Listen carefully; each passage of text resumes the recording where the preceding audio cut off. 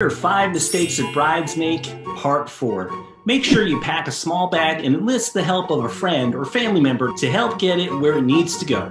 Many couples forget to make arrangements for the wedding dress and tuxedo. If you're leaving for your honeymoon the morning after the wedding, make sure you have a friend or family member to pick up your dress or return a rented tuxedo. If you're having guests from out of town, make sure to set up a room block.